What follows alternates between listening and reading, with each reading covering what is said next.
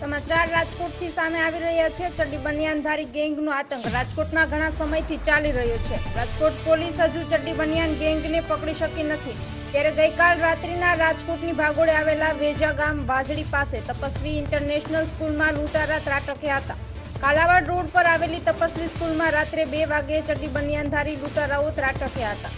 ચોકીદાર દંપતી લલિત મારવાડી અને સવિતા મારવાડી પર હુમલો કરી લૂંટ ચલાવી હતી. યુનિવર્સિટી પોલીસ દ્વારા કાર્યવાહી હાથ ધરવામાં આવી હતી. ચડ્ડી બનિયાનધારી ગેંગનો લૂંટના સીસીટીવી સામે આવ્યા છે. બીએસ નાઇન ટીવી ન્યૂઝ સાથે સાહિલ સપ્પા રાજકોટ.